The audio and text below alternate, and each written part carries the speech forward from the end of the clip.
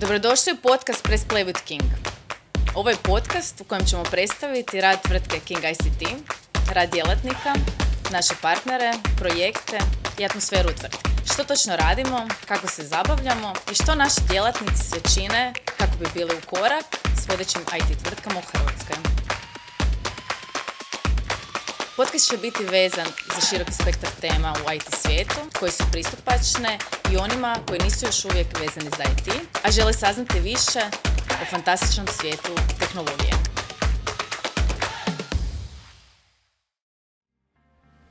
Dobar dan i dobrodošli u novu epizodu podcasta Press Play with King. E, kao što već znate, ja sam Ivona, a preko puta mene je moja kolegica Jasminka Golubić, inače više savjetnica za SAP HCM. Jasminka, dobrodošla. Hvala i pozdrav vašim gledateljima i slušateljima. Hvala ti lijepo. Uh, možeš li nam odmah za početak reći nešto o sebi, a i molim te da mi objasniš tu skraćenicu HCM, da ne znam mi dobro uopće izgovorila, se uopće kaže HCM. HCM mi kažemo ili HR, neć, nećete pogriješiti, a HCM je kratica za Human Capital Management, odnosno upravljanje ljudskim resursima. Hvala ti, ja sam kaže se nam objasnila da nisam krivo nešto rekla. Pa evo, možeš li nam malo reći o sebi, eh, našim gledateljima, slušateljima, nešto što možda eh, ne znaju od samim tebi kao po svojem putu, osim toga da, neću, da, da te ne pogledaju na LinkedInu. Što je, ko je Jasminka, po, poslovno, privatno, reci nam nešto o sebi. Pa evo, htjela sam ne zvučati pa da sam na razgovoru za posao, ali evo ne mogu to izbjeći. Uglavnom, ja sam mlada, 34-godišnja eh, magistrica financija prije nekih deseta godina sam eto diplomirala na ekonomskom fakultetu i eto unazad evo, ovih deset godina se svašta nešto izdogađalo što poslovno što privatno. E, privatno volim e, provoditi svoje vrijeme dosta aktivno u prirodi sa prijateljima, ono, ajmo reći sve što vole mladi. E, ja često kažem, ovaj, e, inače sam član jednog mladog planinarskog društva, e, Prsten, koji ih ovom prilikom pozdravljam, pa kažem da sam počasni član njihov jer e, nisam još uplatila članarinu, tako da budem, hvala što me počastite to i tamo. Ovaj, volim putovati, ali to, to uključuje putovanja. Imam možda neki fun fact što se tiče tih putovanja, kad negdje idem, ja rijetko kad istražujem ne iz razloga što ljudi s kojima ja putem to naprave umjesto mene, a i rijetko kad me zainteresira to gdje idem, nego tek kad se vratim i kad onak nekako ti doživljaj sjednu, onda, onda krenem istraživati malo, eto, informirati se gdje sam bila, što sam vidjela i ovaj. Tako da, eto, u, i u principu pa ono, volim, tu i tamo igram tenis, pa malo badminton, onako, baš jedan aktivan život. To zvuči jako zdravo, to zvuči jako zdravo. Dosta, da. Možda više zvuči nego što je, ali eto, da. Možeš vam reći kako si se našla u Kingu? Što točno radiš u Kingu? Pa znači, evo, trenutno sam u, na poziciji višeg savjetnika, odnosno, ajmo reći, seniora nekog za SAP HR i nekako sam se ja najviše profilirala na obračun plaća. E, pokrili smo, HR modul zapravo ima više modula i mi više manje u Kingu pokrivamo svako sve neko u nekom dijelu više, neko manje, ali u principu e, ja sam se najviše sad, zadnjih četiri godine fokusirala na obračun plaća. Tako da u principu šta mi radimo? Radimo svašta. Dakle, e, od implementacije tog sustava, eto kad dođe neki novi klijent kaže mi bismo htjeli SAP, e mi smo sad tu da vam predstavimo što je SAP, što vam on može pružiti, e, kako će vam vama, što će on vama dat, što će on raditi bolje nego što radi trenutni sustav i onda kreće avantura implementacije, podrške, uh, ono što mi kao konzultanti smo dužni uh, certificirati se, SAP konstantno želi da budemo up to date sa svim njegovim proizvodima, upgradeima, tako da uh, uvijek budemo ono, ajmo reći, sa najnovijim uh, znanjima i tehnologijama upućeni i informirani. Možeš li mi dati možda neku zanimljivu činjenicu o svom nekom karijernom putu? Imaš li nešto što bi nam mogla podijeliti s nama, uh, sa mnom i s našim slušateljima i mm. gledateljima što bi moglo biti zanimljivo? Imam osjećaj da bi moglo nešto biti zanimljivo. da, da, pa sad baš razmišljam, mislim, kao ajmo reći, karijerni put je počeo prije deseto godina kad sam i diplomirala, ali kao deset godina zvuči puno, nisam promijenila puno poslodavaca, ali bilo je zanimljivih nekih situacija.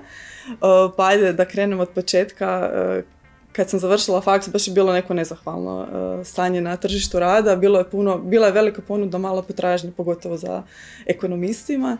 I tad, tad smo bili ušli u Europsku uniju pa je bila ona mjera stručno osposobljavanje bez zasnivanja radnog odnosa. I tu mjeru je provodila burza, odnosno Hrvatski zavod za zapošljavanje. I ja sam igrom slučaja tamo i dobila uh, posao kao savjetnica za zapošljavanje. Tako da ta savjetnica očito me od početka prati. I tamo sam provela tih godinu dana koje je bilo predviđeno. I ajmo reći da je bilo prvo nekakvo iskustvo rada u javnom sektoru. Uh, I svašta nešto sam naučila, što želim, što ne želim u životu. I nakon toga je, eto, ono, opet se dogodila situacija da sam se našla na burzi, ali s one druge strane pulta, nažalost kao nezaposlena osoba i onda je naravno bilo opet drž ne daj. I kako to uvijek biva, niko ti ništa ne odgovara na, na ovaj, tvoje uh, molbe za posao i odjednom se pojave dvije ponude u isto vrijeme. I to mi je bilo jako simpatično. Uh, doslovno u jednom tjednu sam imala uh, dva intervjua konačno, jel, nakon svih, ne znam, šest krugova testiranja, razgovora i to, i jedan se poslodavac javi u srijedu, drugi u četvrtak da moram doći na razgovor. Ja, šta sad napraviti? Ja dođem u srijedu na razgovor, vratim se doma s tog razgovora, onak sva neka tužna, kao nisam zadovoljna kak je prošlo. Rekao ništa, imam sutra mogućnost da to popravim. I zove mene poslodavac, kaže, mi smo se jasniko odlučili za vas i molimo vas da dođete u petak potpisati ugovor. A ja onako sva onak nervozna, naivno kažem, ali ja imam sutra drugi razgovor za posao. Kažem. A dobro, ali bila si iskrena, što mi je super opet. da, tako da, uh, uglavnom, na kraju sam se odlučila za tu kompaniju koja mi, koja mi je prva i dala ponudu. Uh, I ovaj, uh, tako da sam se eto odlučila raditi u jednoj stranoj kompaniji, privatnoj, koja se igrom slučaja bavila građevin, proizvodnjom građevinskih materijala, dakle ono, nikakve veze s mojom strukom, ali meni je zapravo samo bilo bitno da steknem nekakvo radno iskustvo koje ću moći staviti u svoj CV i da mogu konkurirati kasnije na tržištu rada. Tako da meni je bilo bitno samo da mi netko da priliku. Jel? Ja moram priznati da smo mi baš ta generacija koja nismo imali sreće za, za pri zapošljavanju nakon fakulteta. Ako nisi ostao već raditi, ako već nisi na faksu radio, to je bila velika prednost. Ako si već na faksu radio, ako si mogao uz neke ono, mogućnosti i obaveze, baš smo bili generacija koja nije baš lagano. Ono, kad vidim sada kako mogu birati, bi se naravno jako mi je drago, ali ono, opet se sjetiš kako si prošao sve te stvari, kako nije bilo lako. Borio si se, ono, baš se morao boriti. Je, i mislim da nije toliko bilo, e, kako da kažemo, niti dostupno javno, nije niti toliko društvenih mreža bilo gdje se poslodavci mogli možda približiti nekim mlađim generacijama. A recimo, konkretno, ja sam živjela dosta, nisam daleko. Ja sam putovala po dva, tri sata u Zagreb na faks i meni je samo bilo u glavi dođi na faks, položi ispite, vrati se doma jer ono, puno vremena mi baš otpadalo na, na putovanje. Pa tako, tako nisam niti bila nekako niti dio tih nekih studentskih udruga gdje su se zapravo i poslodavci, ajmo reći, okupljali. Je, je, je, istina, da. Tako da taj dio meni je nedostajao, ali radila sam recimo studentske poslove, ono, u skladištu sam doslovno slagala ton karte za fasade i onda me život prebaci u, da se tamo stvarno i zaposlim. E, I tamo sam provela nekih dvije godine s obzirom da je bila austrijska firma, ja sam tražila poduzeće da mi ovaj, uplate tečaj njemačkog jezika jer prije do tada ga nisam učila, a htjela sam nekako ovaj, malo, ajmo reći, njemački progovorit i tamo sam ju upoznala svoju današnju šeficu, zajedno smo išli na tečaj njemačkog, ona me nekako malo i približila SAP svijetu. Aha, tako je došla ljubav prema SAP-u, ok. To je bilo moje sljedeće pitanje, ali evo, umjesto nisam morala ni postaviti.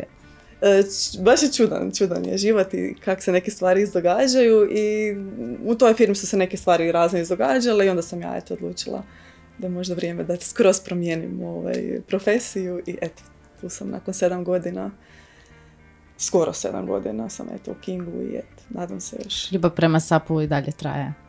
Traje, samo raste. samo raste. Uh, Jasnika, možeš li nam nešto malo reći, ajmo, kad smo već završili oko tebe, možemo li sad malo se prebaciti na tvoj odjel, ako nije problem, ali možemo se mi vratiti ponovo. Uh, možeš nam nešto reći više o povijesti SubHire-a? Što je točno SubHire? Možeš nam malo nekako laički objasniti našim uh, uh, gledateljima, slušateljima? Mm. Pa, ajmo reći, općenito povijest SAP-a datira u neku 1972. ako se ne varam, pa samim time je nastao i HR. Uh, ali ajmo reći, kroz vrijeme se HR stvarno onako intenzivno mijenjao, razvijao, napređivao. Uh, inicijalno je njegova uloga bila da on zapravo bude podrška ostatku poslovanja i da se nekakvi osnovni HR procesi pokriju kao što je obračun plaća, evidencija matičnih podataka i tako. Tako da nije onako minimum minimuma se odrađivao kroz SAP HR i samo da se svi ostali procesi neometano mogu odvijati. Ali naravno kako se mijenjalo i tržište rada, kako su se mijenjale i potrebe e, samih kompanija, tako je HR se nadograđivao i širio svoje te neke podmodule. Tako da je recimo, ja, ja sam sebi to nekako u glavi podijelila na, ajmo reći, tri faze. Uh, HRIS, HRMS, odnosno HCM i HXM danas. Uh, HRIS je zapravo kratica za Human Resource Information System, što znači information je zapravo taj fokus informacija. Ajmo ju centralno negdje spremiti, obrađivati za što nam treba i to je to. Znači nećemo s njom ništa sad pretjerano puno raditi, bitno je da ona zadovolji šta treba. E onda su shvatili zapravo zaposlenici nisu samo tu da rade posao i zadovoljavaju potrebe kompanije, nego da oni imaju neke svoje potrebe, pa su se malo proširili sa e, talent managementom, gdje su oni zapravo počeli pratiti svoje zaposlenike, evaluirati njihov rad, e, pratiti njihov razvoj, nekakve ciljeve postavljati. Tako da je HRMS, nekako Human Resource Management System, e, bio neki sljedeći korak i tu su se nekako fokus se sa kompanije prebacivao na samog zaposlenika. I evo rekla bi da danas živimo u domu, e, dobu e, Human Experience Managementa, odnosno HXM-a, gdje zapravo sad zaposlenikove potrebe i iskustva rada u sustavu su fokus u centru, a onda se gleda na koji način će se te potrebe zadovoljiti i uskladiti sa potrebama kompanije. E, I ajmo reći da sad mi kao King kako se naravno vrijeme mijenja i sve nekako prelazi u cloud. Sada se trenutno educiramo uh, i učimo, certificiramo o, vezano za Success Factors koji je nekakva sadašnjost, a i naravno budućnost SAP-a. To je bilo moje sljedeće pitanje. Što, ono, kako taj sustav, što možemo vidjeti u budućnosti, što se očekuje u budućnosti samog tog uh, ovaj programa? Uh, pa evo, rješenja. Kao, što sam rekla, nekako se sve to pokušava migrirati uh, u cloud, ali naravno bez isključivanja korištenja i prethodnih jel, sustava. Uh, ugrađena je u Success Factor i umjetna inteligencija, tako da stvarno se, uh, ja kažem, SAP objedinjuje najbolje svjetske prakse koje su ono godinama skupljene, pogreška, pokušaj, promašaj, jel, pa smo došli do jednog sustava koji stvarno ono objedinjuje ono najbolje što se može objediniti u HR procesima. A Success je recimo jedno cloud rješenje koje je stvarno onako je user friendly, jako je lijepo, lijepo, ga za vidjet, e, može se koristiti na različitim e, uređajima, od mobitela, tableta, kompjutera, dakle dostupan je, e, podaci su u real time dakle sve dostupno ovdje i sada odmah stvarno jedan, jedan sustav koji je baš onako namijenjen za same zaposlenike, da, da oni postanu aktivni sudionici uh, cijelog tog sustava i da se osjećaju uključeni. Jel? Znači prilagodljiv sustav, to je super, ali da li postoje neko puno i puno tih zakonskih obaveza, odnosno promjena koje se moramo, na primjer, pratiti, koje se učestalo događaju i to se mora pratiti? Je, ba, HR e, je dosta vezan za zakonske nekakve okvire i promjene, pogotovo kod nas u Hrvatskoj, evo svake godine sigurno po nekoliko poreznih promjena koje što svi možemo u, u vijestima pročitati. E, tako da SAP tu e, mora imati nekog SAP Hrvatska, jel, odnosno SAP za ovo nekako naše područje, e, mora imati nekog čovjeka koji će pratiti te zakonske promjene i nakon toga jel centralno u SAP javljati na koji način se treba prilagoditi sustav da bi se te promjene mogle jel, prebaciti na produkciju i biti e, našem korisniku dostupne. Ali ja nekako smatram da je tu najvažnija e, komunikacija korisnika, klijenta, nas kao konzultanata i SAP-ovog partnera i SAP-a kao jel, vlasnika tog proizvoda da svi međusobno proaktivno komuniciramo, razgovaramo i da nađemo nekakvo najsretnije rješenje da može biti uh, lokalno primijenjeno konkretno na Hrvatsku. Jel, uh, mi u Hrvatskoj imamo lokalizaciju, tako da SAP pokriva sve standardne izvještaje koji moraju biti i zakonske promjene, tako da se stvarno mislim eto trudimo da sve bude up to date i na vrijeme.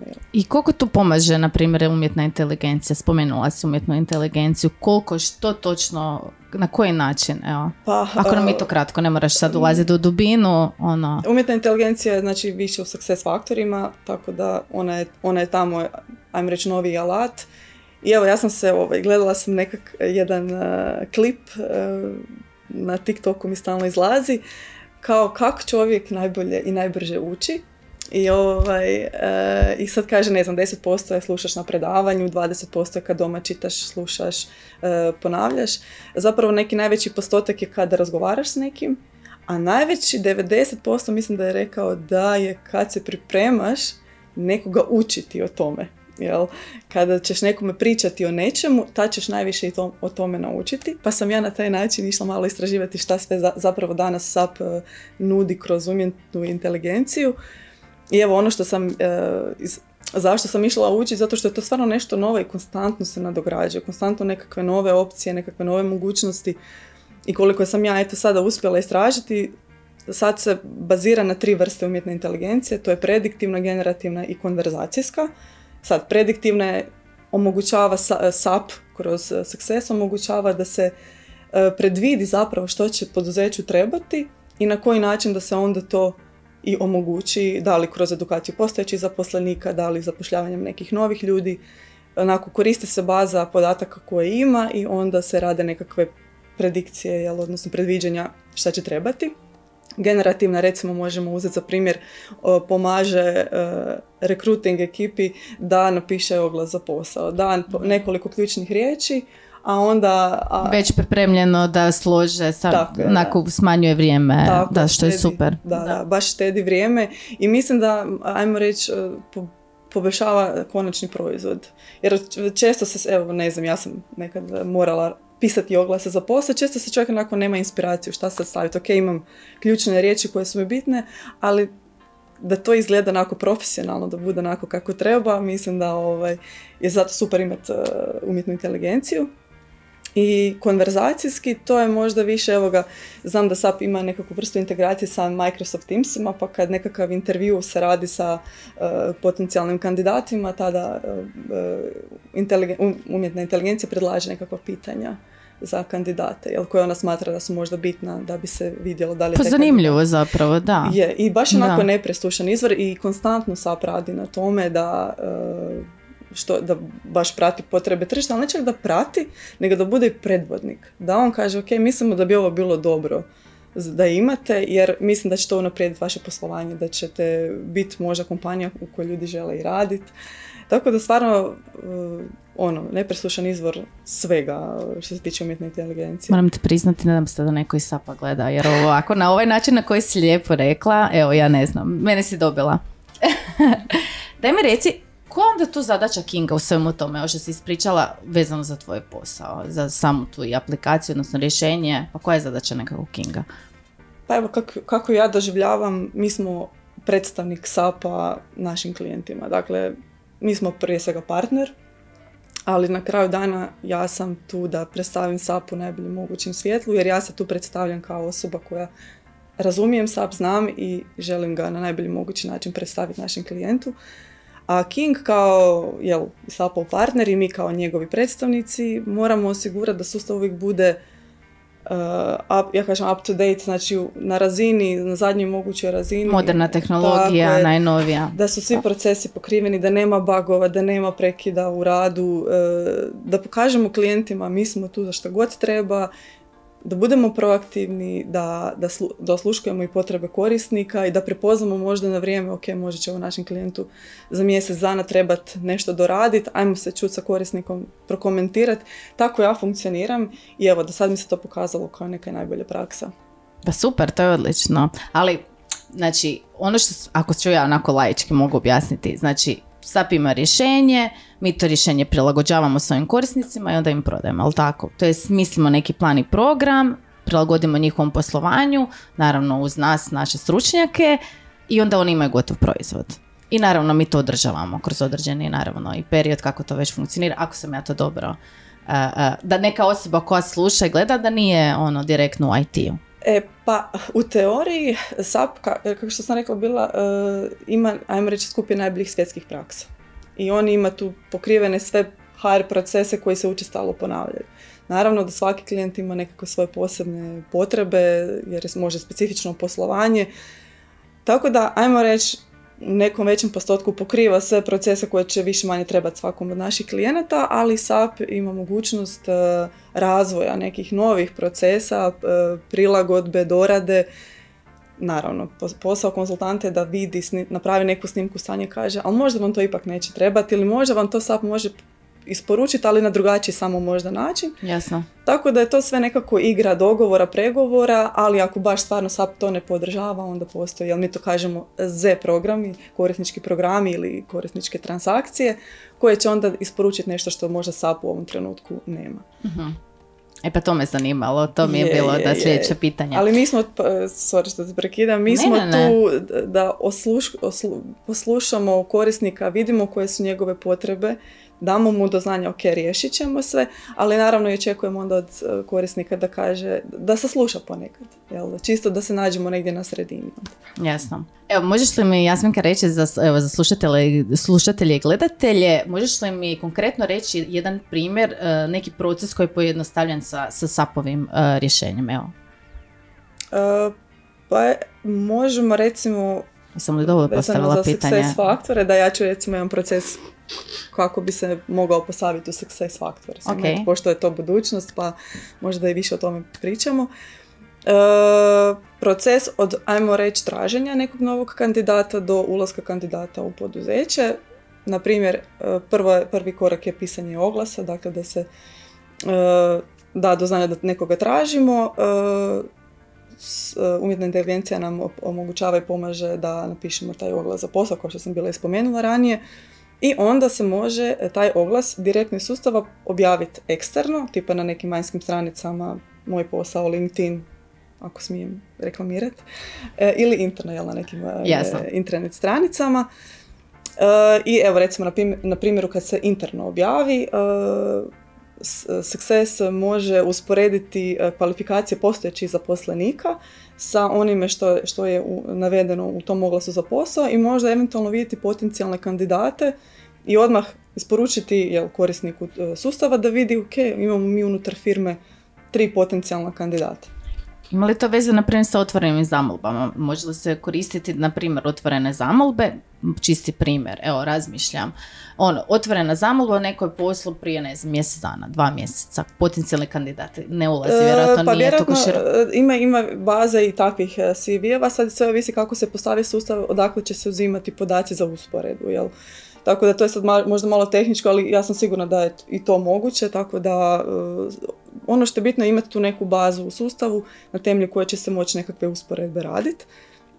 Tako da e, kad se, kad se vidi ti potencijalni kandidati, onda se oni naravno fizički ili preko Teamsa sad naravno ovisi na koji način se želi intervjuirati ljude, odradi se intervju i kada se odluči za tog nekog kandidata, e, kreće onboarding e, i recimo onboarding isto također automatski šalje mailove novom zaposleniku šta njega sve čeka, šta on sve treba odraditi, pa do onih sitnih detalja, ne znam, tu ti se nalazi laptop, e, tu je mobitel, sad, ne znam, na taj taj datum će doći e, neka posebna oprema za tebe, svoj voditelj je taj i taj. Dakle, sve, baš ono kad čovjek dođe raditi u kompaniju, onda ima sve informacije, da zna da, ga sve čeka. Da ne mora tražiti vući ljude, kao što smo mi morali, šalim se, ovaj, nego da ti neko eto, odmah na jednom mjestu kaže što te čeka i uh, neke daljnje korake upućuje, tako da i onda ko, e, zaposlenik sam unosi nekakve svoje podatke i nakon toga e, njegov menadžer vidi šta je on sve unio, da li još nešto treba dodati i on ulazi u sustav. Tako da mislim da je taj proces stvarno ono puno ima koraka gdje zapravo se od, od samog zaposlenika ne traži ništa, nego će to za njega odraditi sam sustav. Sustav ga navodi da on zapravo ni ne treba se puno nebitnim stvarima zamarati, nego samo ono što je bitno da bi Ali mislim to je super jer tebi kao za novom zaposleniku to znači jako puno da, dođeš na radno mjesto i sve ti je već ono nekako dostavljeno, imaš sve informacije, no se odmah bolje osjećaš. Je. Sjećaš da se neko oko tebe trudi, jel tako? Je, je. I onak nemaš to upitnika Pa upravo to. Sve ćeš informacije imati na jednom mjestu i sve ćeš dobiti. I još ti neko kaže, e, ispunila si sve što si trebala, ok, ček. Super, bravo, odlično. E, ajmo mi sad malo ne, ne pričati o poslu i o sapu, ali možemo naravno. Ovaj, možeš nam malo nekako objasniti još da pređemo na tebe. Možeš nam nekako dočarati ili o, o, pokazati kak, kako izgleda tvoj radni dan? Jo. To pitanje Da li sam si pre- rano ranila? To ono, pitanje- kad dolaziš u firmu šalice? u sedam. E, to pitanje sam baš očekivala da će doći. E, mislim stvarno teško dati jedan konkretan odgovor jer stvarno visi da li si u fazi implementacije nekog sustava, dakle implementacijski projekt, da li radimo nekakvu podršku, da li se pripremamo za certifikat ili za podcast e, ili sve to odjednom radiš, ali... e, Ali viš da ti dobro ide. Odlično, baš sam zadovoljna.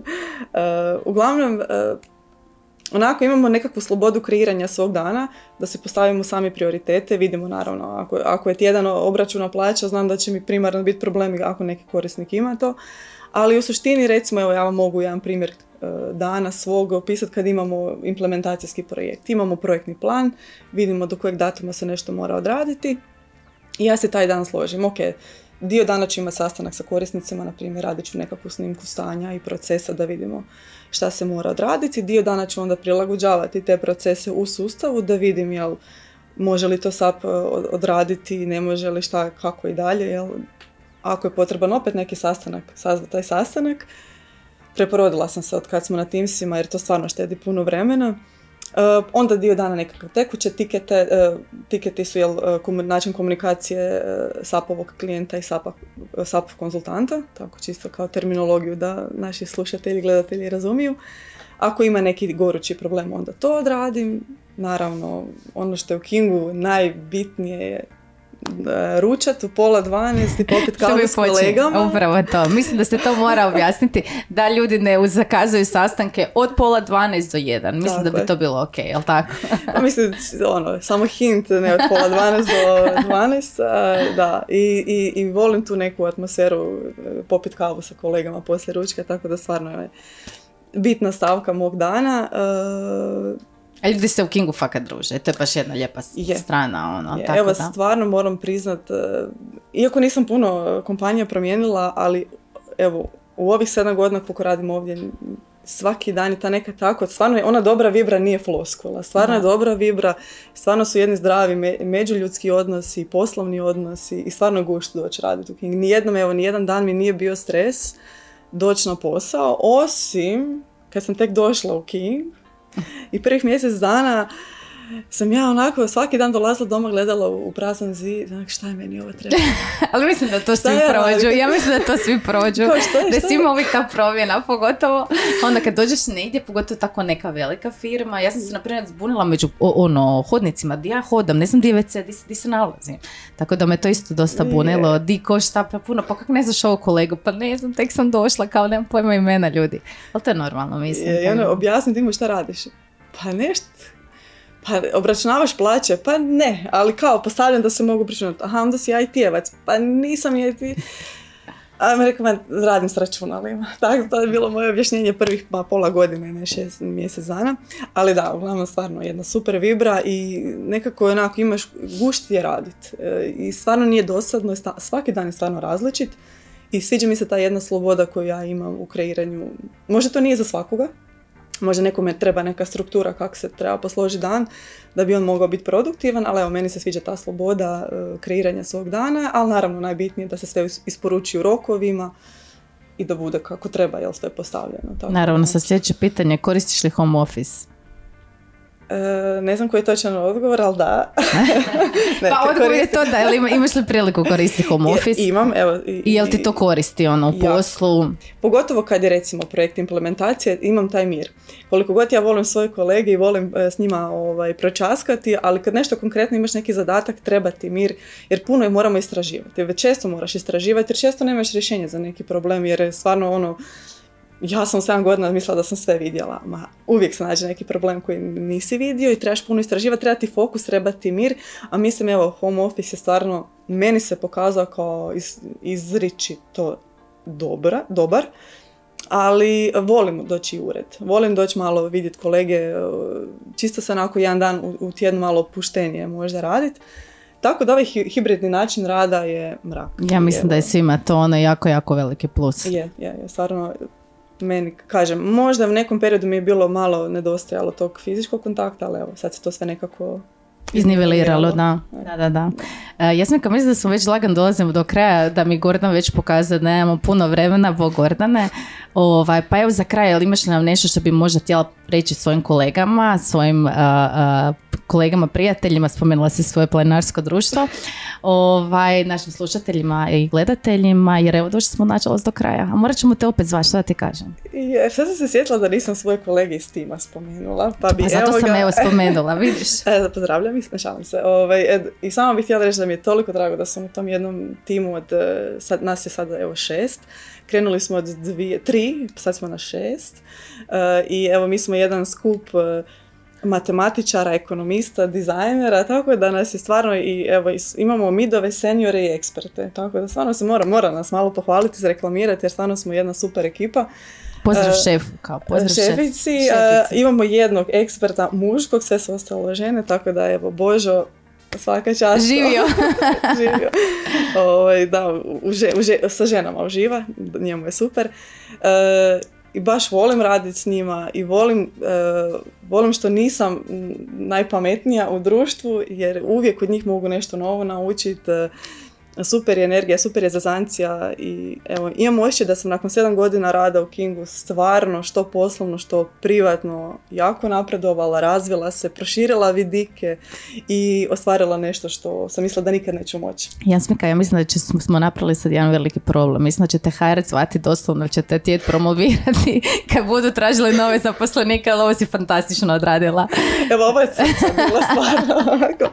Sad sam se sjetila da sam to htjela reći, da. E, ali evo, za kraj, SAP, kao SAP je stvarno super, King je još bolji, a SAP HR je, e, ja mislim da je to jedno super e, rješenje za HR koje je stvarno onako, ja kažem, imaš e, fičeka, imaš Ferrari.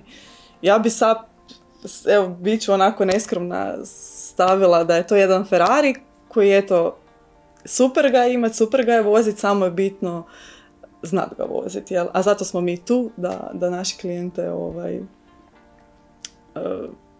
Naučite ovo to.